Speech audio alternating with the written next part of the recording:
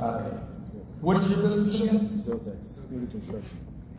One Camden. Thank you for calling Zemex Flying, Chocolates, and more. For our Sacramento and Thomas location, One. please press Press one. one. For our Roseville location, please press two. For Rockville, press Thanks for calling Northern Ford Houses and More. This is Kurt. Can I help you? Hey Kurt, uh, what is the average job cost? What, what you, what kind of flooring are you looking for? I'm looking for a wide plank as long as I can get it. Um, and then you want to consult? As opposed to not, as opposed to what? Install it yourself or just, just want to? Man, I don't, I don't, I don't have it. I can't even install a battery on my phone. Okay. No, no, no, that's not, well, I don't know if I can.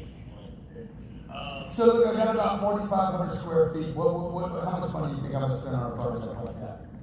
forty-five hundred square feet. Yeah. And you just want to put one type of product out? Um, are you looking for engineered wood or laminate or, uh, electrified plank? I think the engineer.